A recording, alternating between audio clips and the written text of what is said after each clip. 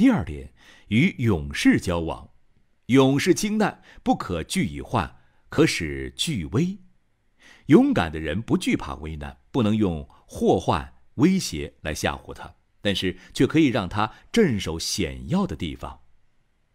虽然不能用祸患危险来吓唬勇士，但适当的激将法还是可以用的。你看看历史上经常有请将不如激将的案例，那激将法其实就是利用了勇士不怕困难、不怕死的特性。第三点，与智者交往，智者达于术，明于理，不可欺以不成，可示以道理，可使立功。聪明的人通达事理，不可以用诡计去欺骗他，可以向他讲明道理，使他建功立业。为什么不能对聪明人使用诡计呢？因为他很聪明，你对他使用诡计，他一眼就看穿了。他看出你为人不真诚，怎么可能信任你、帮你做事呢？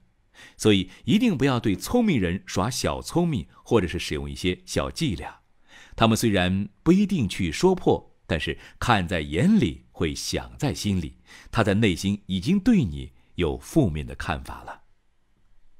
当然了，如果你确信你比聪明人的层次更高，比如他在第三层，你在第五层。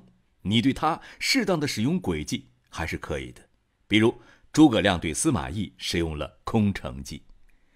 鬼谷子说：“这三种人呐，三才也。”意思是说，这是三种不同类型的人才。所以，我们很容易从上面三点得出一个重要的结论：使用谋略必须因人而异。就好比你要招待客人。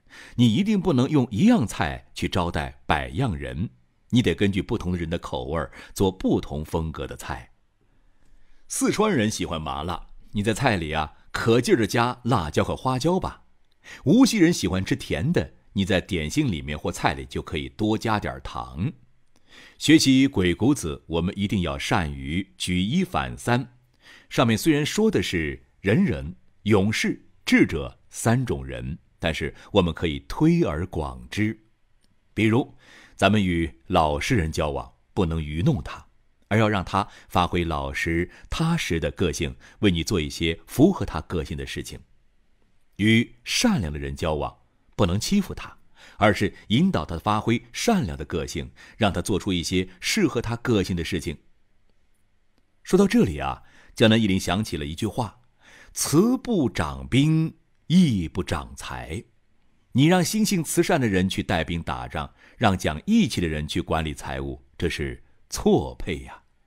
但是反过来讲，你让心性慈善的人去当幼儿园或小学老师，或者是让他去红十字会去做公益事业，不是挺好吗？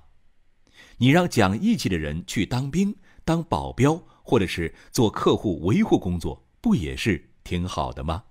所以，因人而异的使用谋略，因人制宜的与人交往至关重要。这些技巧值得我们去学习和掌握。希望您多多体会并灵活运用。